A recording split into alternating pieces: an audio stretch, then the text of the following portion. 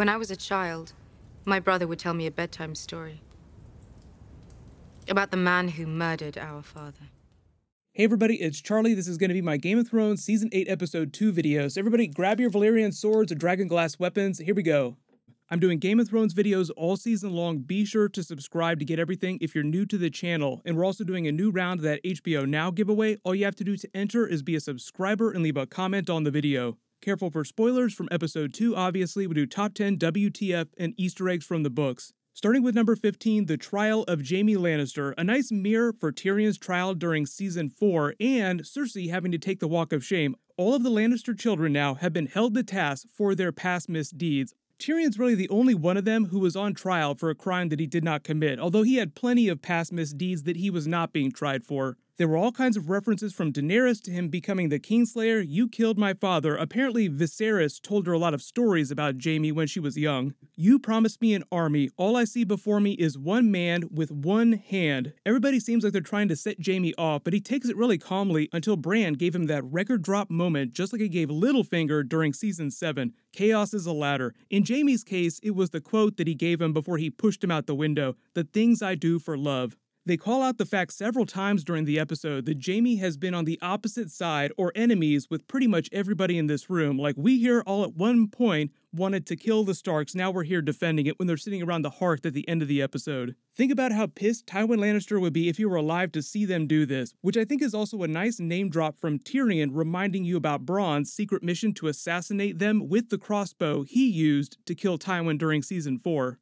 Important detail too, according to Jaime, the Golden Company troops that Cersei has, give or take 20,000 minus the ones that Euron has already killed. She'll have enough people to defeat anyone who survives the battle with the White Walkers during episode 3 next week. Or at least Jaime thinks so, unless there's some other big twist, which I'll talk about towards the end of this video when I start talking about the White Walkers. I think there's going to be a big twist with the Night King, and I don't think he's going to do what you expect him to do. Like Bran was trying to concoct this plan to lure him out into the open. There's a really important reason why I don't think that's going to work. I love that Jaime refused to apologize for killing the Mad King. I'd do it again in a second. I was protecting my family, my house. He refuses to apologize to Sansa for taking in Ned Stark. I was acting under orders. It was time of war. I did what I needed to do. But later in the episode, he opens his conversation with Bran by apologizing for pushing him out the window. 14, though, was just setting up the Brienne Jaime arc during the season. They have one of the most compelling relationships on the show. I know there's all this Tormund stuff and they're using for comedy in the background.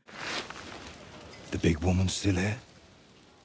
But really, I think it's all about Brienne and Jaime's relationship. So I'll talk about what that is because it's not quite the same thing as Gendry and Arya's relationship or Jon Snow and Daenerys' relationship. I think the show has just done a lot more work establishing their relationship than, say, like Jon Snow and Daenerys' relationship, which they kind of sped through season seven. Like they meet, and then a couple episodes later, they're deeply in love. There were a lot of callbacks during Brienne's testimony all the way back to season 3. He protected me at the cost of his hand. That was Locke's group during season 3. And Brienne also very aptly puts that the only reason why Sansa is alive because of an oath that Jaime swore to Catelyn Stark to help find her children and bring them home, which is why he gave Brienne Oathkeeper and her armor and set her off on her way. The way Sansa explained it during the episode, though, is that she trusts Brienne and Brienne trusts Jaime. It's not that Sansa trusts Jaime, she's just willing to give him the benefit of the doubt based on Brienne's testimony. And because of the Cersei twist, almost none of them are listening to Tyrion, so he's kind of on the outs for most of the episode. Number 13, Jaime and Bran's reunion in the Godswood. So this is sort of Bran telling Jaime that he only could become the man he is today if he had pushed Bran out the window. If he had not, he would still be the golden trash bag character that he was at the beginning of season 1. It doesn't absolve Jaime of any of his guilt, and he has this really funny reaction to Bran when Bran explains how he's not Bran Stark anymore. I'm kind of the three-eyed raven. It's the same quizzical look that Sansa had on her face when Bran told the same thing to her. I don't know what that means. Three-eyed raven, what's that? Even though Bran has green sight and he probably has an idea for what Jaime's role is specifically, he doesn't come right out and tell him. And I love the way they leave their conversation too. Is, is that why should you worry about whether or not I'm going to tell anyone the truth about what you did to me? Because we all might die tomorrow, so what would it matter after that? So you almost get a version of that same extreme Jaime reaction face that you got at the end of episode 1 when he first noticed Bran, like, oh my god. But number 12, Jaime and Tyrion's reunion, they have a funny moment just remarking about how things have changed so much since the pilot episode. Remember the last time we were here? My golden days are behind me. Tyrion says his whoring days are behind him. And they have that funny moment where the Stark soldiers on the balcony just spit down at them. But turns out they also kind of hate Daenerys too, so Tyrion tries to reassure Jaime, like things aren't quite so bad. They sort of reflect on Jaime's relationship with Cersei, and Tyrion actually quotes himself from earlier on the show. So when he talks about the way that he wants to die, when I'm 80 years old in my bed, so on and so forth, that was actually a line of dialogue from way back, I think it was either season one or season two, when he was talking to the Crow Hills clans of the Vale. When he was with Bronn, they got captured. He was trying to talk the Stormcrows into taking him back to Tywin for a really big reward. The weird thing about Tyrion in the episode, too, is that there were a couple different conversations that he had where he talked about his own death, as if he's prophesying his own death before the end of the series. So just watch out for him. Any character that talks about their own death that much is probably going to wind up dying at some point. Number 11 was Jaime and Brienne's reunion in the yard. They have a conversation about Pod, which seems kind of funny, but really it's a metaphor for what's going on with Jaime during this season. So Jaime says he's come a long way, but Brienne says he's still got a lot to learn. Just saying that, you know, even though Jaime is doing the right thing now, trying to be honorable, he still has a long way to go before he completely redeems himself. Brienne stops him short as they're talking about battle planning. Why aren't you insulting me? And it's sort of them acknowledging the air between them where they left things last time, where they know that they care about each other, but because neither one of them is completely prepared to directly address the way they feel about each other, she just kind of pushes them away. And it gets even more tense towards the end of the episode. But I do feel like the two of them later in the episode probably had one of the best scenes in the entire episode. Number 10 was Daenerys versus Sansa. So this actually lets you know about what's going to be happening after the big battle of Winterfell. Like what happens when we defeat the Night King? There's still going to be a lot of problems to solve. They're both wearing their new outfits. Sansa has her new leather armor on. Daenerys has the new fur-lined dress. They make remarks about families being very complicated. Obvious setup for the R plus L equals J info bomb that Jon is getting ready to drop on her. The fact that it's just going to complicate both of their families, Stark and Targaryen. They make a joke about Jon Snow being short, because she was talking about Khal Drogo. Who was the man that you loved before Jon? She talks about someone who was taller. That was Khal Drogo that she was referring to. But the real tension between the two of those characters is all about what happens to the North after they win the battle, defeat Cersei, and put Daenerys on the Iron Throne. Sansa wants continued independence for the North after the battle. Daenerys clearly isn't ready to offer that to her, so they're going to have to circle back around to that after the big battle to address it before the finale.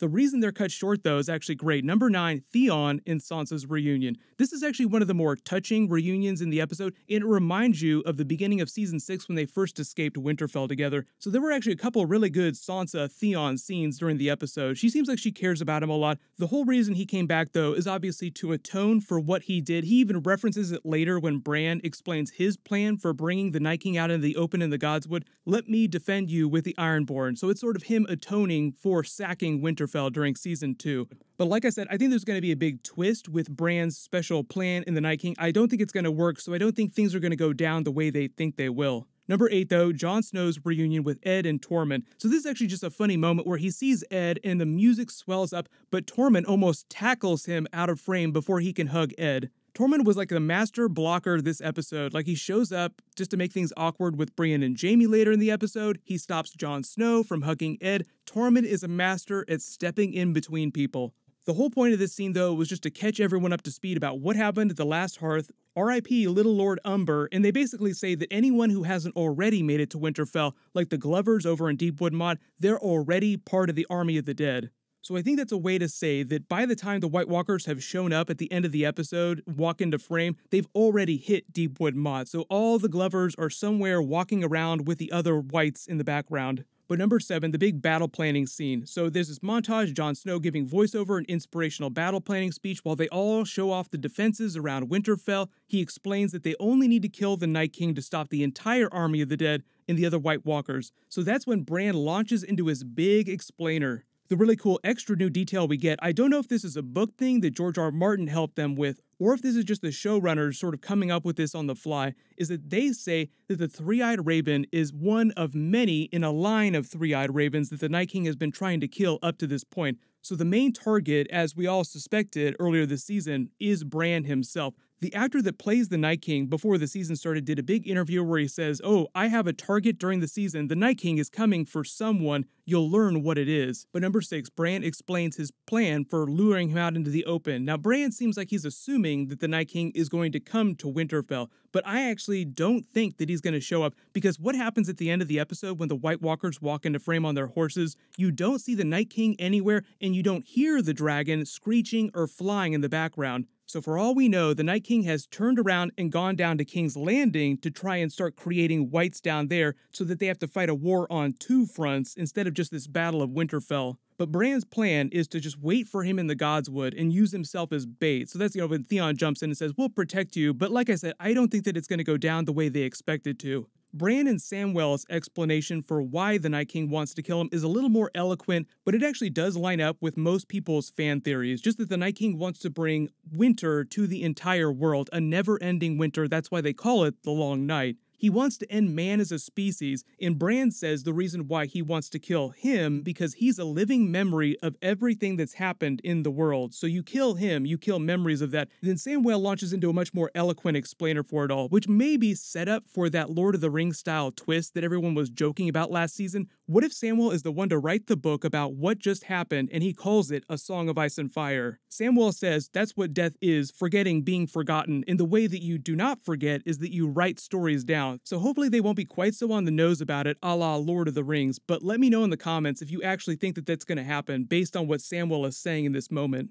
There are a couple really great smaller scenes with a lot of the characters having moments together, like you have the Night's Watch brothers standing on the battlements, like they stood on the wall during season one. Samwell talking to Ed and Jon Snow, them sort of poking fun at Sam. Well, Samwell, Slayer of White Walkers, lover of ladies, we're really screwed now if this what it's come to. They try to give all the main characters moments like this, like you have the Ser Jorah moment with the little bear where she tells him, I wish you good fortune in the wars to come. And he's like, okay, fine, because she doesn't want to hide down in the crypts with everyone else. So we did finally get a Ser Jorah little bear scene, but that's probably going to be the extent of it. I don't expect them to get a whole lot of time together. Number five was everyone around the hearth. Even though they tried to play it really comedically, there were a couple of really great moments. It went a little over the top with Tormund explaining himself, like, do you know how I got the name Tormund Giantsbane? Killed a giant when I was 10, climbed in bed with his wife, and the giantess thought I was her child, suckled me at her teat for three months. That's how I got so strong, giant's milk, and then just gulps a whole bunch of it down from his horn there. The funniest thing about this scene, though, is actually Brienne's horrified reaction. You just see her speechless there, just trying to take it all in. Oh my god, what did I just hear? And during all those moments where he was trying to proposition Brienne, you could actually see her in frame with Jaime just out of focus. And it was just sort of their way of addressing the funny love triangle that's been happening for the past couple of seasons. But like I said, I think this is all about Jaime and Brienne. They've been setting that up ever since season 3, ever since he explained why he became the Kingslayer. Number four was Arya's second reunion with the Hound, which was a little more personal, but they also got the reunion with Beric, who she hasn't seen since season three. I love the way she checked him too. What are you doing here? You've never fought from anyone but yourself. And then he remarks, I fought for you, didn't I? Which is a way to show you that they both come a long way. He's actually being more honorable, being a good person. She's kind of gone in the opposite direction, even though she is fairly well adjusted. She is a stone cold killer at this point they drop a really big red wedding reference when Beric walks up and the hound gets really pissed off. Oh, we might as well be at a bloody wedding. Which at the end of season 3, they walked up at the twins right after the red wedding had gone down.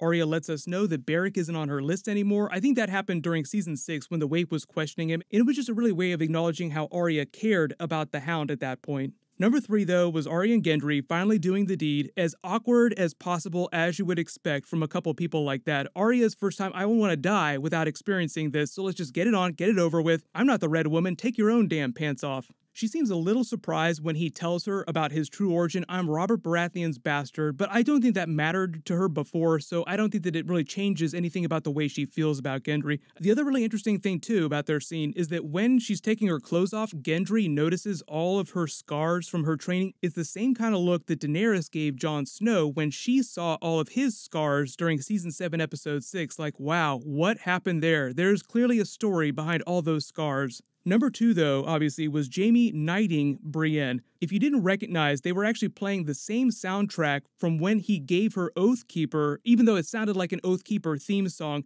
The name of the song is actually called Kingslayer, so it started out as a Jaime Lannister theme. Then, once they got to season four, their relationship had blossomed a little bit more. It turned into a theme for both of them in that Oathkeeper moment. So I think of the song as more of an Oathkeeper theme, which makes sense now that he's knighting her Rise, a Knight of the Seven Kingdoms. The really interesting book Easter egg there is that A Knight of the Seven Kingdoms is a reference to the book called A Knight of the Seven Kingdoms, which covers the adventures of Dunk and Egg that George R. R. Martin wrote. Within the world of A Song of Ice and Fire, Brienne of Tarth is actually related to Sir Duncan the Tall. If you couldn't tell what that Podrick song was, too, big surprise twist, Pod is apparently a really amazing singer. Maybe the other surprise twist is that that's what he did to the girls in the whorehouse so many seasons ago. Like, what did he do to those girls that make them love him so much? But the name of the song that he's singing is called Jenny's Song, and it's fabled that the song was always requested from Jenny by the ghost of the High Heart as payment in exchange for telling the Brotherhood Without Banners of her prophetic dreams. So it's kind of a book Easter egg for something that they didn't really do on the TV show, but obviously the song itself was just really nice the way they used it during the episode.